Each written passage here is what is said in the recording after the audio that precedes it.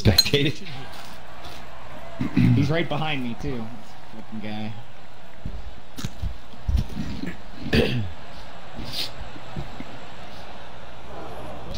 I'm sure it looked better in their mind before they hit it. John, you're down there. Oh man, yeah, it's like a fucking minivan. Try to go cable on your ass. Getting down into that rough pretty It's a. Peugeot. Have to do a lot of work to pull it out of this first cut.